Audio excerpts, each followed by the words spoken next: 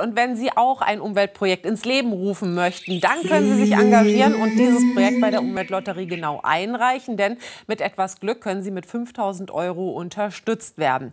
Heute kommen wir also zur Erziehung des 29. Januars. Wenn Sie mitgespielt haben, ist genau jetzt der richtige Moment, um den Spielschein parat zu haben. Denn auf dem Spielschein ist einmalig die Losnummer. Eine Los-ID vermerkt für den Hauptgewinn.